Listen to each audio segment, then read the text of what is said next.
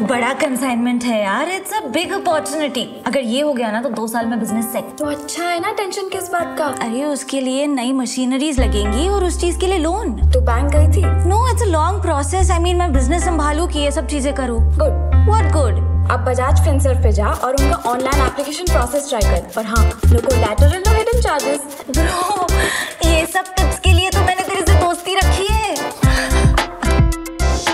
ही हमारे ऐप और वेबसाइट पर जाएँ और बिज़नेस लोन सर्च करें।